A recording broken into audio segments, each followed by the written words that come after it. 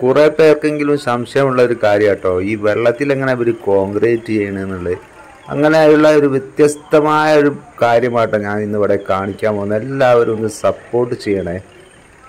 Hello ചങ്ങായിമാരെ എല്ലാവർക്കും നമ്മുടെ പുതിയ വീഡിയോയിലേക്ക് സ്വാഗതം കേട്ടോ അപ്പൊ ഇന്ന് ഒരു വ്യത്യസ്തമായ കാഴ്ചയാണ്. വെള്ളത്തിലുള്ള പില്ലറിനുള്ള റിങ് ഇറക്കുന്നതും എല്ലാം ഉള്ള ഒരു അടിപൊളി കാഴ്ചയാണ്.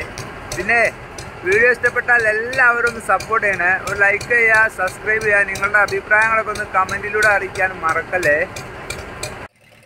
അപ്പോൾ ചങ്ങായിമാരെ ഞാൻ ഉള്ളത് ഇപ്പോൾ കോഴിക്കോട് ജില്ലയിലെ അറപ്പുഴ പാലത്തിന്റെ ചൂട്ടിലാട്ടുള്ളത് എൻ എച്ച് അറുപത്താറിന്റെ വർക്കിന്റെ ഭാഗമായി ഇവിടെ രണ്ട് പാലമാണ് വരാൻ പോകുന്നത്.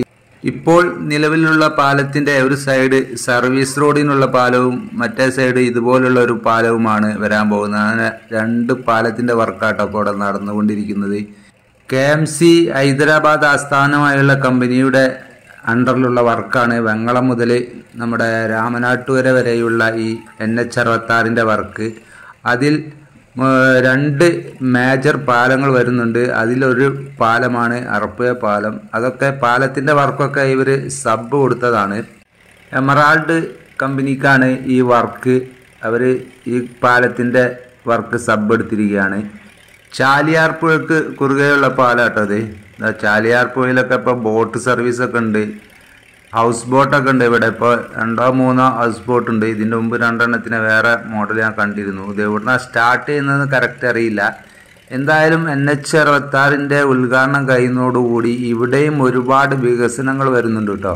ഇവരുടെ എമറാൾഡ് ഗ്രൂപ്പ് തന്നെ അവിടെ മറ്റേ സൈഡിലുള്ള തുരുത്ത് ഇരുപത്തഞ്ച് ഏക്കറോളമുള്ള തുരുത്ത് അവർ വാങ്ങിയതാണ്. അവിടെ ഒരുപാട് വികസനങ്ങളൊക്കെ വരുന്നുണ്ട്.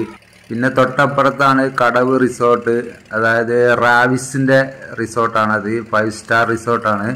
ബാക്കിയുള്ള വികസനങ്ങളോടെയൊക്കെ വരുമ്പോഴേക്കും ഈ ഏരിയ ഒരു ഒരു പൊളി കേന്ദ്രമാകും കേട്ടോ ഒരു വ്യത്യസ്ത കാഴ്ച കാണിക്കാൻ വേണ്ടിയിട്ടാണോ കാര്യമായിട്ട് ഞാൻ ഇവിടെ വന്നത്?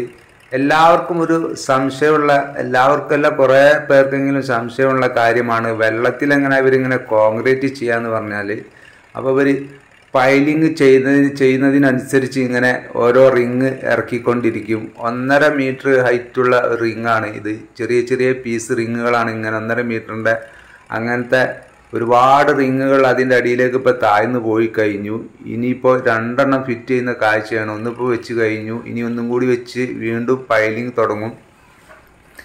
മുപ്പത് മീറ്ററോളം താഴ്ചയുള്ള പൈലിംഗ് ആണ് മുപ്പതല്ല പത്ത് മീറ്റർ വെള്ളമുണ്ട്. അത് അത് കഴിഞ്ഞതിന് ശേഷം വീണ്ടും മുപ്പത് മീറ്റർ താഴ്ചയുണ്ട്. ഏകദേശം മൊത്തം നാൽപ്പത് മീറ്റർ.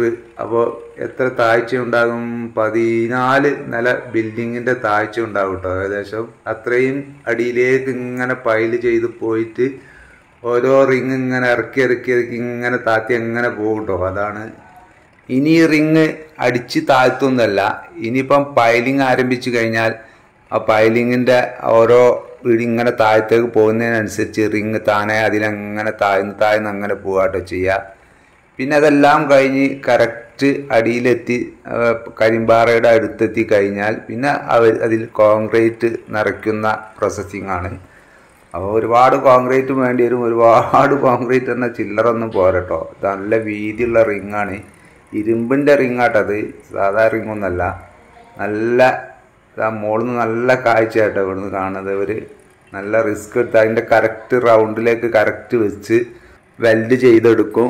അത് കഴിഞ്ഞ് ഒക്കെ റെഡി ആയി കഴിഞ്ഞാൽ പിന്നെ കമ്പി ഇറക്കുന്ന പരിപാടി ഉണ്ട് കേട്ടോ അത് കഴിഞ്ഞിട്ടാട്ടോ കോൺക്രീറ്റ് കമ്പി എന്ന് പറഞ്ഞിട്ടുണ്ടെങ്കിൽ എത്രയോ ടന്ന് കമ്പി അതിലേക്ക് തന്നെ വേണം. കറക്റ്റ് ഞാൻ ഏകദേശം അറിയാം. എന്നാലും ഞാൻ പറയുന്നില്ല. അപ്പോൾ അവർക്കൊരു അവരുടെ ജോലിയുടെ എന്തെങ്കിലും പ്രശ്നം ഉണ്ടെങ്കിൽ എന്ന് വിചാരിച്ച് ഞാൻ പറയുന്നില്ല. അവരെന്നോട് പറഞ്ഞിരുന്നു ഏകദേശം ഇത്ര ടെന്നാകുമെന്ന് എന്നാലും ഒരുപാട് ടണ്ണ് കമ്പി അതിലേക്ക് വേണം പില്ലറൊക്കെ അവിടെ കെട്ടി റെഡിയാക്കി വെച്ചിട്ടുണ്ട്. പിന്നെ അത് ക്രെയിനെ ഉപയോഗിച്ച് അവർ ഇതിലേക്ക് ഇങ്ങനെ ഇറക്കി കൊടുക്കും. അതിന് ശേഷമാണ് കോൺക്രീറ്റ് ഇട്ട് ബില്ല് ചെയ്ത് കഴിഞ്ഞ് ഇവിടെ തന്നെ ഇപ്പോൾ ഇതുപോലത്തെ ആറ് പില്ലർ വരുന്നുണ്ട് കേട്ടോ. ഒരു മെയിൻ പില്ലറിന് ആറ് ഇങ്ങനത്തെ പൈലിംഗ് പില്ലർ വരുന്നുണ്ട്. അതിന്റെ മുകളിലാണ് മെയിൻ പില്ലറായിട്ട് വരിക. അങ്ങനത്തെ മൊത്തത്തിൽ മെയിൻ പില്ലർ ഏഴ് പില്ലർ തന്നെ വെള്ളത്തിൽ പൈലിങ്ങുള്ള വെള്ളത്തിൽ തന്നെ വരുന്നുണ്ട് ഈ ഒരു സൈഡ് പാലത്തിന്. പിന്നെ രണ്ട് സൈഡിലുള്ള ആ ഒരു പില്ലറും. അതിന് ഇത്ര റിസ്ക് വർക്കൊന്നും ഉണ്ടാവില്ല. ആ വർക്കൊക്കെ പെട്ടെന്ന് കഴിയും. അപ്പോൾ എന്തായാലും ചെങ്ങന്മാരെ ഒരുപാട് റിസ്ക് ഉള്ള വർക്ക് തന്നെ കേട്ടോ അത് പാലത്തിന്റെ വർക്ക് എന്ന് പറഞ്ഞാൽ ഒരുപാട് ടൈം എടുക്കുന്ന വർക്കാണ് ഇപ്പോൾ അടുത്ത മഴക്കാലത്തിന് മുമ്പ് ഇവരുടെ പൈലിംഗ് ജോലി തീർക്കണമെന്നാണ് ഇവർ ഉദ്ദേശിക്കുന്നത്. എന്തായാലും നമ്മുടെ രണ്ടായിരത്തി ഇരുപത്തിനാല് ലാസ്റ്റോടു കൂടി നമ്മുടെ നാഷണൽ ഹൈവേയുടെ ഉദ്ഘാടനം ഉണ്ടാകാനാണ് സാധ്യത. ഹൈവേയുടെ ജോലി കണ്ട് കഴിഞ്ഞാലുണ്ടല്ലോ പൊളി റോഡായിരിക്കും. എല്ലാവർക്കും ഇങ്ങനെ അടിച്ച് പൊളിയായിട്ട് യാത്ര ചെയ്യുക. എന്തായാലും ലോങ് നിന്ന് വരുന്നവർക്കാണ് ഈ ഹൈവേ പ്രധാനമായിട്ടും ഉപകാരപ്പെടുക. ലോഡ് വണ്ടികൾക്കൊക്കെ തൊട്ടടുത്തുള്ളവർക്കൊക്കെ കുറച്ചൊരു ബുദ്ധിമുട്ടുണ്ടാകും. എൻ എച്ചിലോട്ട് കയറണമെങ്കിൽ സർവീസ് റോഡിലൂടെ യാത്ര ചെയ്ത് രണ്ടോ മൂന്നോ കിലോമീറ്റർ ഒക്കെ ചിലപ്പം യാത്ര ചെയ്യേണ്ടി വരും. യു ടേൺ അടിച്ച് കയറാനായിട്ട്. പ്രധാന ജംഗ്ഷനുകളിൽ അണ്ടർപാതകളും മേൽപ്പാലങ്ങളൊക്കെ വരുന്നുണ്ട്. അങ്ങനെ ഇപ്പം പാലത്തിന്റെ മുകളിലാട്ടോ ഈ വീഡിയോ എടുക്കുന്നത് പൈലിങ് അടിക്കുന്നത്. ഞാൻ അതിന്റെ മുമ്പ് അതിന്റെ തൊട്ടടുത്ത് പോയിരുന്നു. നമ്മുടെ വിയറ്റ്നാം നിന്നൊക്കെ സിനിമയിൽ കാണുന്നത് പോലെ അത്ര വലിയ പുലുക്കൊന്നുമില്ല. എന്നാലും ഈ നാല് ടൺ സാധനം ഇങ്ങനെ വന്നു വീഴുമ്പോൾ ചെറിയൊരു ജർക്കിങ്ങനെ ഉണ്ട് കേട്ടോ എന്തായാലും ചങ്ങായിമാരെ ഈ വീഡിയോ ഇഷ്ടപ്പെട്ടാൽ എല്ലാവരും ഒരു ലൈക്കും സബ്സ്ക്രൈബും നിങ്ങളുടെ അഭിപ്രായങ്ങളൊക്കെ ഒന്ന് കമന്റ് ചെയ്യാനും മറക്കല്ലേ? പിന്നെ നമ്മുടെ നോട്ടിഫിക്കേഷൻ ലഭിക്കാനായി ആ ബെല്ലൈക്കണും ഒന്ന് എനേബിൾ ചെയ്ത് നമ്മുടെ സപ്പോർട്ട് ചെയ്യണം കേട്ടോ പുതിയ വീഡിയോ ആയിട്ട് വീണ്ടും വരാം. എല്ലാവർക്കും നല്ലൊരു ദിവസം തരുന്നു ബൈ ബൈ